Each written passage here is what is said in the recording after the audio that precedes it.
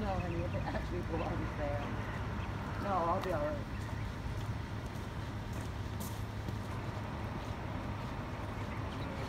Tap, is repeating at this time?